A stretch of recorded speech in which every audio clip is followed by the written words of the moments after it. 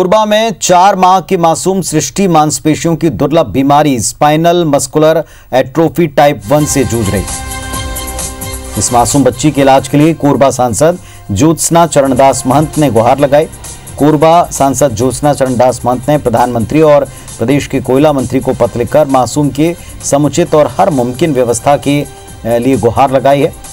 SECL की दीपका खदान में ओवरमैन के तौर पर काम करने वाले सतीश कुमार की 14 महीने की मासूम बेटी सृष्टि मांसपेशियों की दुर्लभ बीमारी spinal muscular atrophy type one से पीड़ित है।